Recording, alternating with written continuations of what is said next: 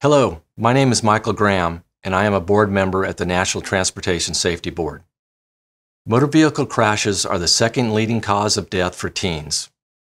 According to the Centers for Disease Control and Prevention, in 2019, approximately 2,400 teens in the United States, aged 13 through 19, were killed in motor vehicle crashes. That is an average of about seven teens killed every single day.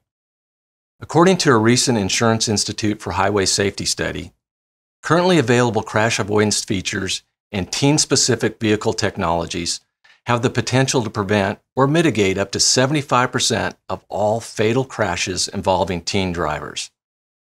On March 23rd, I will host a live NTSB Most Wanted List webinar. We will feature experts in teen driving safety and vehicle automation who will discuss the role of collision avoidance technologies in improving teen driver safety. So please join me at 2 p.m. Eastern on March 23rd to learn more about how these technologies can prevent or mitigate severe crashes for our teen drivers. Together, we can save lives.